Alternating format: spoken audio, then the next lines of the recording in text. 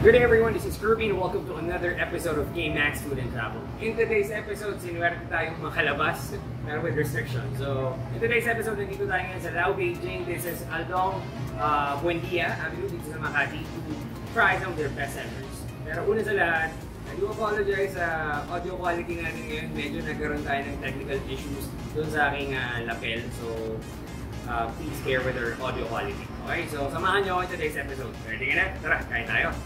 Okay, so nandito na lahat ng in-order natin. Uh, meron tayong four dishes na itatry ngayon. So let's start with the dumplings. So we have, this one, this is their pork meat dumplings. Meron din tayong the good old Xiaolong Bao. Meron tayong special beef noodles. Siyempre, pag nasa Chinese restaurant ka, hindi pwedeng walang noodles. And their um, sweet and sour pork spare ribs. So may kasama siya ang dalawang side dishes and a cup of rice. Hindi ko alam kung saan ako mag-uumpisa. Uh, kaya tayo? Start tayo sa dumpling. So, ito na nasa harap ko yung umpisa natin. Okay, let's start with their Shaolong Bao. So, this is 8 pieces per order.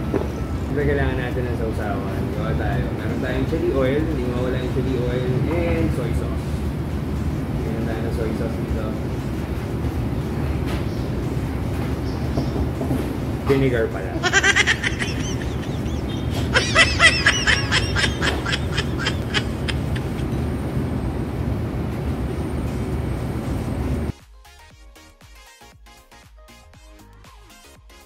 So dissect natin. Gaya na lagi kong ginagawa, dinadissect natin yung mga pagkain. Na natin ito.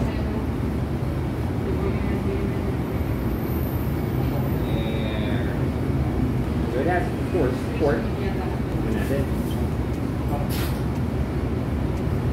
Kain tayo.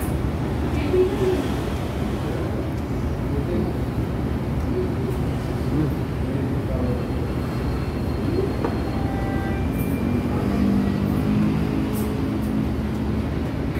pork niya, malasa. The wrapper, it's on the thicker side. Uh, medyo chewy siya. Hindi siya katulad ng ibang natikman natin yung Shaolong Bao or dumpling na medyo manipis yung wrapper. Wrapper? Yung wrapper. Pero okay naman siya. Uh, overall, masarap. Hindi ko sasaw-saw. Tikman ko lang siya uh, as it is.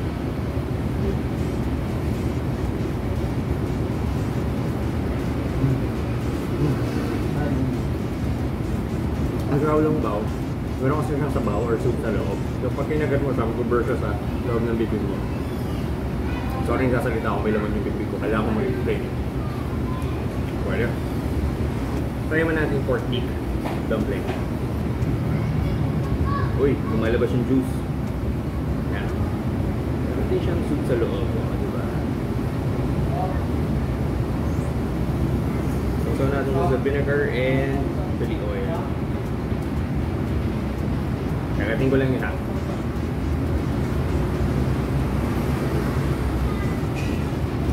Ano? Ayun yung laman. Diba? So very very meaty yung, yung loob ng uh, dumpling. Um, yung texture nung texture nung uh, wrapper pareho lang sa Shaolong. So,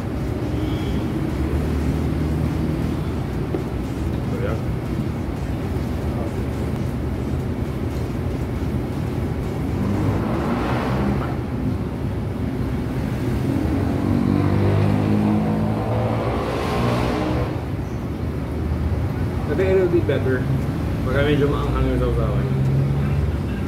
So, dagdagan natin ng sili. Para mas may kipa. And one more. Actually, ito pa lang ang bubusog gani. Nakakatatlong piraso pa lang ako pero mabigat sa tiyan. ah.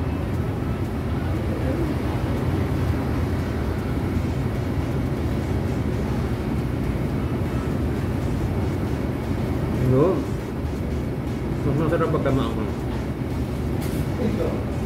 Alright. Let's move to the next patient. So let's try their special beef noodles.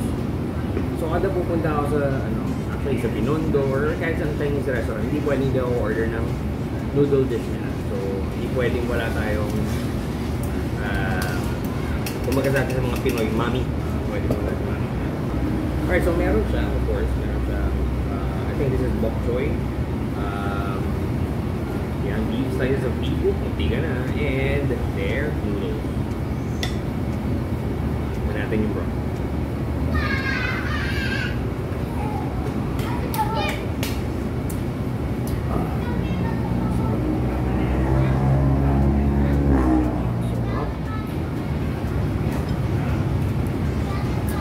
Sarap to pagka ano, may hangover ka. Kakainin mo. Sarap. Natin ng konting vinegar pa. Yan. Yan natin yung ating uh, beef noodle. Yan. Mix, mix.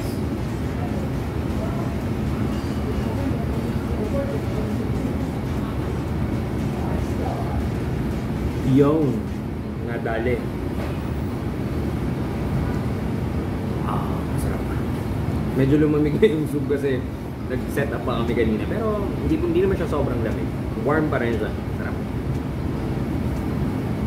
Pwede. Tignan natin yung beef. Ayan. This is braised beef. Ayan.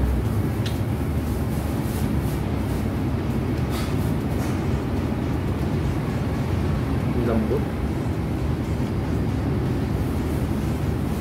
Pwedeng kainin ni Lolo ni Lola na walang ngipin. Hmm, lambot eh.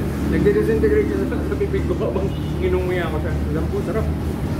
Yan lang sana sa may beef, of course. Pwede. Naman natin yung noodles.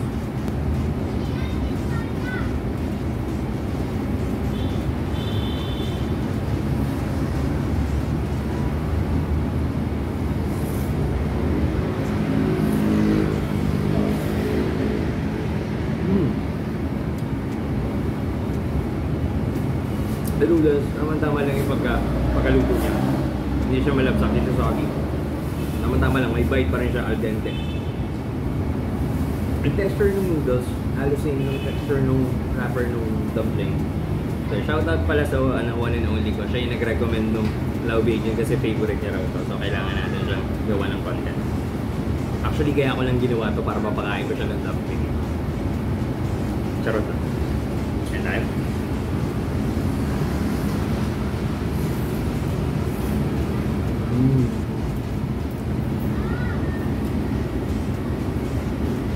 Ka rin ng gulay para healthy.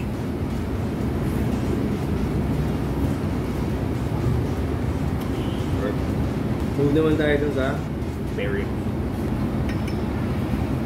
Alright, so this is their sweet and sour uh, spare rib. So it comes with two side dishes. Merong um, kinisang toge. Ayan, kinisang toge. And then this is cucumber.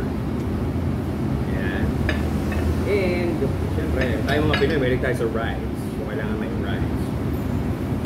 Tignan muna natin yung main dish. Of course, spare ribs.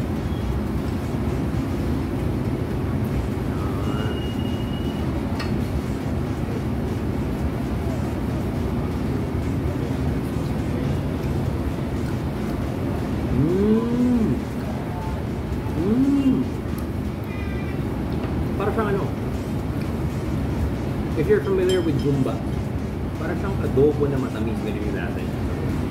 Sarap. Lasa, lambot mo no, lambot mo ribs actually. I think this has, this has been boiled or braised for, for hours. Mmm. Kinamay ko na, sarap eh. Mmm. Pwede.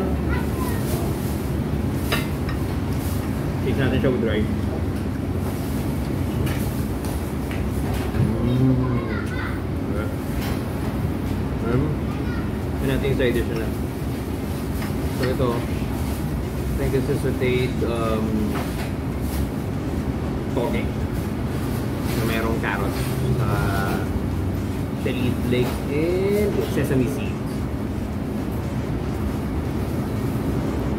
Mmm. Fresh ang lasa.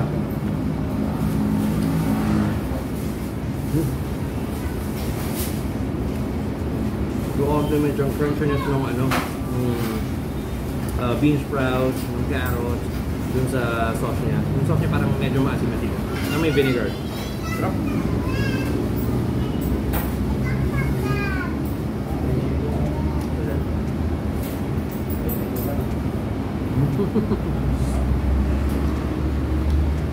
Parang to palang sold na ako. Up. May kick yung chili flakes. Sarap. Tapos napaka-fresh yung lasa ng cucumber.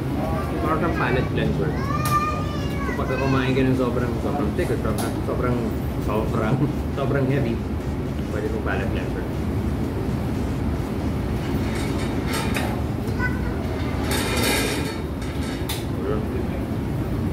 Okay, so balikan natin yung iba pang dishes. Samahan niyo ako. Kain tayo.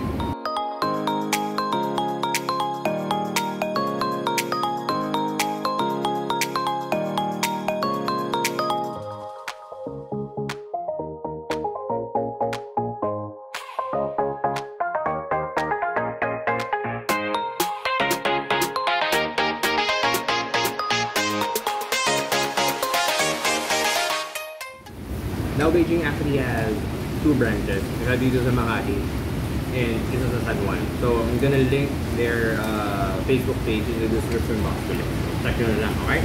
They also do um, delivery uh, via uh, food app. So pwede nyo i-check doon sa mga na food app and order food from them.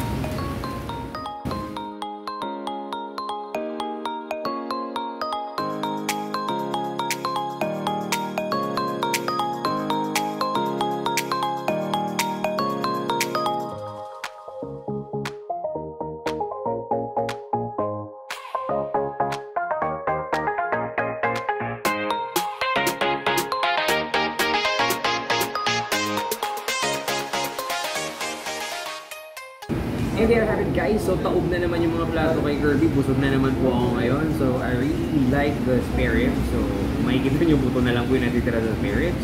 Um, sarap ng lasa, napalambot yung spare ribs. Pati yung side dishes, two thumbs up. Uh, the noodles, tamang-tama yung firmness, tamang-tama yung bounciness, yung uh, lambot ng beef, grabe, melt in your mouth. And also the dumplings, two thumbs up. So if you're planning to dine in dito sa Lao Beijing, di- dito sa Makati branch nila, please make sure that you are fully vaccinated. So, kailangan two doses ng vaccine. Uh, and kailangan nyo rin ipakita yung card nyo for So, para makapag-dine in kayo. Pero for takeout, yun, pwede naman kayo kayo vaccinated. Pero I encourage you guys to have your vaccines. So, let's let's make uh, our country COVID-free. Okay? So, if you like this video, please don't forget to give it a thumbs up. Also, subscribe to my channel and hit the notification bell para updated ka sa mga future videos na isi-share ko. And also, share mo na rin tong video na to sa friends and family members mong mahilig kumain and mag-travel. Follow mo na rin ako sa Facebook and Instagram. Again, this is Kirby of K-Max Food and Travel. Ready ka na? Tara, kain tayo!